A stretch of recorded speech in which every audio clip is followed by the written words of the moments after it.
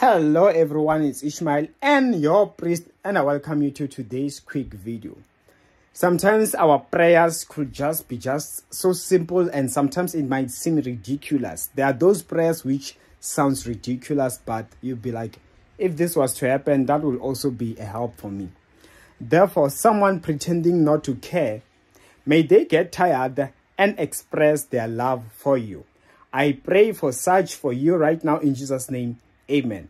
My details are in the comment section below. See you next time.